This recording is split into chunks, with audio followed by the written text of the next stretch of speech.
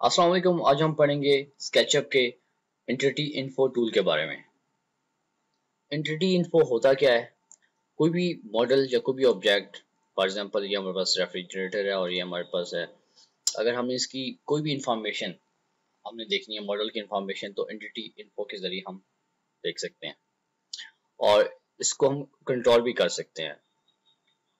Let's suppose अभी हमारे पास ये मॉडल है और हमने इसकी इंटिटी इन्फो पे जाना है। इसके दो तरीके हैं। पहले तो यह है कि आप इसकी विंडोज़ में यूज़ डिफ़ॉल्ट ट्रे में आके आप इसको यहाँ से आके चेक कर लें। अगर आपका ये ऑप्शन नहीं आ रहा तो यहाँ पे आके आप चेक कर लें इसको। ये एंटिटी इन्फो आपकी ऑन हो जाएगी। और दूसरा ये है कि यहाँ पर अब मैंने इसको राइट क्लिक किया माउस से और एंटिटी इन्फो का ऑप्शन आ गया। ये हमारे राइट साइड पे, ये एंटिटी इन्फो का ऑप्शन है। सबसे पहले तो क्या है कि हम इसकी लेयर्स जो है वो सेट कर सकते हैं। हमारे पास ये लेयर है। इसको हम ये सेट कर दिया। और आगे टाइप क्या है?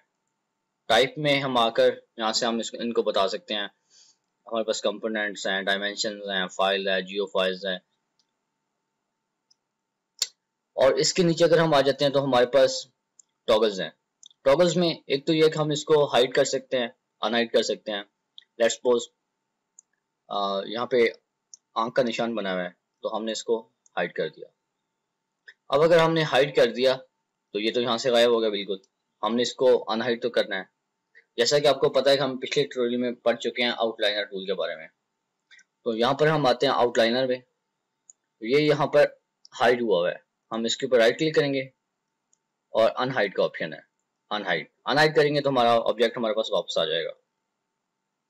हम दोबारा जाते हैं एंटिटी इन्फो पे और उसके साथ लॉक है। लेट्स सपोज़ कुछ ऐसे ऑब्जेक्ट्स होते हैं जिनको आप चाहते हैं कि वो मूवी ना हो। फॉर एग्ज़ाम्पल आपके पास कोई मैप है आप उसके ऊपर कोई थ्री डी ऑब्जेक्ट बना रहे हैं तो वो तो अपनी स्टिल जगह पे रहेगा। आप उसको सिंपल जिस तरह ये लॉक लॉक कर देंगे। अब ये कहीं भी मूव नहीं होगा। ये देखें ये कहीं कहीं भी मूव नहीं हो रहा। और अगर हमने फ्रिज को मूव करना है तो ये इजीली मूव हो जाएगा। ये देखें ये मूव हो, हो जाएगा। और ये मूव नहीं हो रहा। दूसरा हमारे साथ इसको हम अभी हटा देते हैं।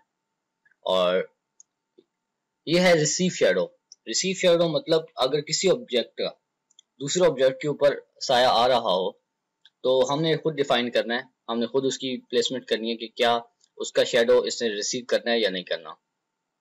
ये आपको समझ तब आएगी। मैं इसके सबसे पहले तो आप इसके शेडोज जो हैं ऑन कर देता हूँ। ये इन दोनों के शेडोज ऑन हो गए हैं। और अगर अभी हम जाते हैं, हम इसको क्लिक कर देते हैं। अभी इसका जो शेडो है फ्रिज का जो शेडो है, वो ये रिसीव कर रहा है, ये देखें। यहाँ पर उसका शेडो आ रहा है। बट अगर हम चाहते हैं कि यहाँ पर इसका शेडो ना आए, हम सिंपली इसके ऊपर हमने क्लिक किया है, ये देखें। यहाँ से इसका शेडो हट गया। अब शेडो जा रहा है बट शेडो इस ऑब्जेक्ट के ऊपर नहीं जा रहा। ये क्योंकि ये उस शेडो को रिसीव ही नहीं कर रहा।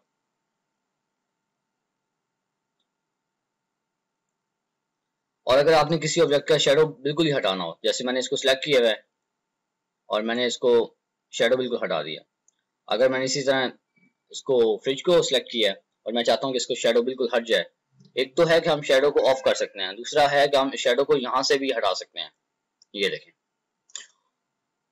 उम्मीद है कि आपको इंटिटी इन्फो जो है टूल अच्छी तरह समझ आ गया होगा। मिलते हैं एक और ट्यूटोरियल के साथ। अल्लाह हाफिज।